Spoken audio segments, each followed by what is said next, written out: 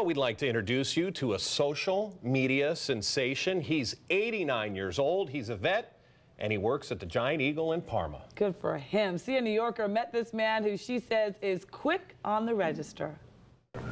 Okay.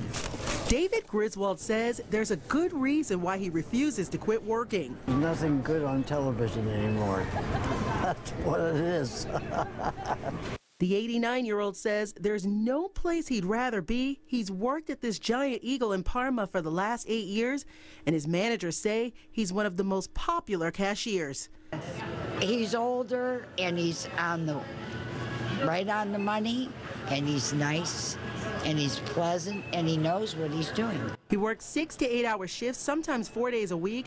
Before he was a cashier, he served our country in World War II and says he will never forget.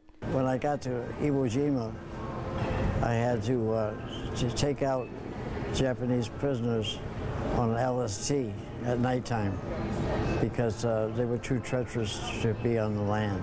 He says customers like hearing his veteran stories and it connects him to his peers. Are they curious at all, wondering, you know, why are you still working? Yeah, they do ask me from time to time. Yeah. I tell them I like the money.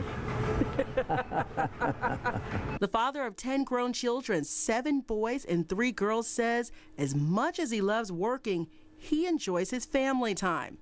After his first wife died, he met his sweetheart Joan here on the job, and they've been together for the last seven years.